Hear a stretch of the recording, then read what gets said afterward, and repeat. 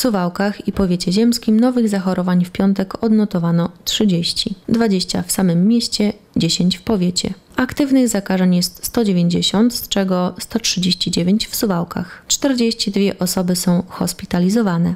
Od początku pandemii na terenie miasta i powiatu ziemskiego odnotowano łącznie 429 zakażeń, 327 w Suwałkach, 93 w powiecie. Zmarły 3 osoby, 227 wyzdrowiało. Aktualnie kwarantanną objętych jest 941 osób, ale ta liczba jest dynamiczna zastrzega Elżbieta Bednarko, powiatowy inspektor sanitarny w Suwałkach. Na obecną chwilę nie ma problemu z łóżkami dla pacjentów covidowych w szpitalu suwalskim. Na mocy kolejnych decyzji wojewody podlaskiego w naszej placówce mamy obecnie 64 łóżka dla tej grupy pacjentów. Gorzej jest z respiratorami informuje dyrektor Adam Szałanda. Mamy dwa covidowe urządzenia, ale czterech pacjentów. Są podpięci pod wentylację mechaniczną, która miała być zabezpieczeniem dla pacjentów niekowidowych. Ale to nie brak urządzeń stanowi trudność, a brak miejsca. Musieliśmy zamknąć nefrologię, by zabezpieczyć miejsca zgodne z wymogami sanitarnymi dla pacjentów z COVID-em. Od wtorku też czekam na odpowiedź wojewody w sprawie personelu.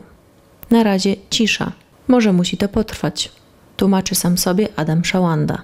Jak poinformował nas Podlaski Urząd Wojewódzki, według szacunków z 22 października do końca tygodnia w województwie będzie 912 miejsc szpitalnych dla osób wymagających hospitalizacji w związku z zakażeniem koronawirusem. Do dyspozycji, według ostatnich podanych nam danych, w regionie są 43 respiratory, z których wolnych jest zaledwie 7. Wojewódzka administracja jest w stałym kontakcie z dyrektorami szpitali i, jak zapewniła Kamila Ausztol z Biura Wojewody, na bieżąco monitorowane jest zapotrzebowanie na personel. Do podmiotów leczniczych personel medyczny jest kierowany stosownie do zgłaszanych potrzeb, mówi. Są to pracownicy podstawowej opieki zdrowotnej oraz lekarze realizujący szkolenia specjalizacyjne.